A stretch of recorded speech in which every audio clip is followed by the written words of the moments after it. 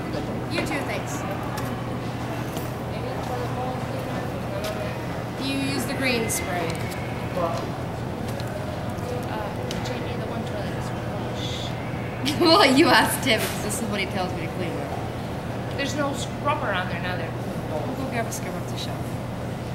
If you want to grab some toilet bowl, something, whatever. I'd rather do that. Okay. Jamie, 'cause that